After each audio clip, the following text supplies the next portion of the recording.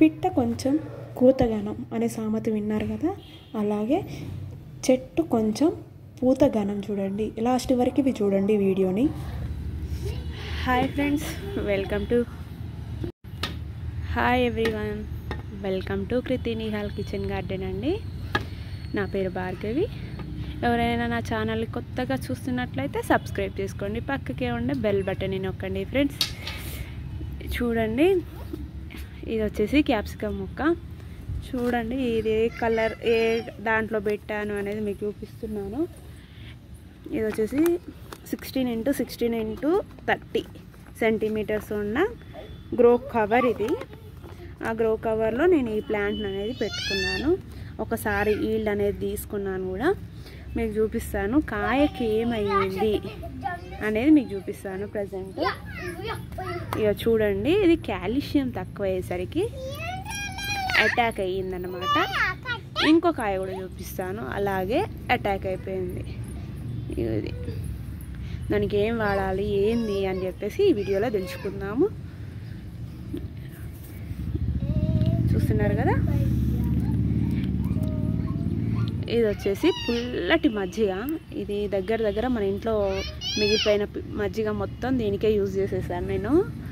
ఇగో ఈ బాటిల్ నిండా ఉందనమాట దీన్ని వాటర్లో దీనికి ఇచ్చేసామనుకోండి ఈ కాయ మొత్తం దింపేయాలి.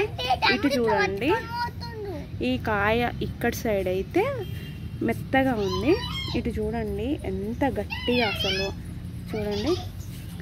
ఇదే చెట్టు అనే కాదు నీకు వేరే చెట్లు కూడా చూపిస్తాను. ఇది ఇది రాలేదు కానీ వేరే కాయలు కూడా ఎలా కాస్తున్నాయో మీకు చూపిస్తాను చూడండి. కాల్షియం తక్కువ అయిపోతే కాయలు కూడా మనకు ముడత అనేది బాగా వస్తుంది ఇగో చూడండి ఈ కాయ ఎలా వచ్చిందో. ఇంకో ఇది చూడండి. చారలు అంటే ఇది మచ్చ రోగం అంటారు. ఇవి రాకుండా కాల్షియం తగ్గకుండా మనకు మొక్కలకి మంచిగా ఫుడ్ అనేది ఇస్తాము ఇగో ముడత రోగం వర్షాలకి ముడత రోగం కూడా అటాక్ అయిపోయింది మన మొక్కలకి. చూడండి ఫ్రెండ్స్ ఇది చూడండి ఫ్రెండ్స్ ఈ మొక్క. ఇది కూడా మనకు త్రీ ఫోర్ కాయలు అనేది మనం వీల్డ్ అయితే తీసుకున్నాము. ఇది చూడండి ఎంత ఫ్రెష్గా అనేది ఉందో మొక్క కూడా. దీనికి ఎలాంటి అయితే లేవు ప్రజెంట్ ఈ కాయ కూడా బాగా వచ్చింది అంటే ఇందులో బలం సరిపోయింది అందులో బలం సరిపోలేదు అనమాట కాల్షియం అనేది మనకు లేకుండా ఉందన్నమాట. ఇక ఇది చూడండి ఫ్రెండ్స్. అసలు పిట్ట కొంచెం కూతగనం అంటారు కదా అలాగే ఉంది ఈ మొక్క కూడా. చూడడానికి చిన్న చెట్టు పూత చూడండి విపరీతంగా ఉంది. రాలిపోవంగా కూడా ఇంకో అంటే బలం సరిపోక రాలిపోంగా కూడా ఎంత పూత అనేది ఉందో చూడండి మీరే. అసలు ఎన్ని కాయలు చెట్టు నిండా. అసలు చూడండి బ్రాంచెస్ కూడా చాలా వచ్చేసాయి అనమాట ఇది లిక్విడ్ ఫెర్టిలైజర్ ఇచ్చాకే ఇది ఇలా వచ్చిందనమాట ఇంకో కాయలు చూడండి ఫ్రెండ్స్ ఎలా పడ్డాయి? ఒకటి రెండు మూడు నాలుగు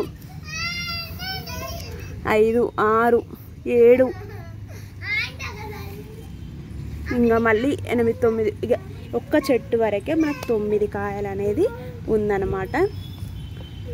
దీనికి బలం జరిపోయింది కానీ ఈ ముడత రోగం అనేది అయితే ఉంది.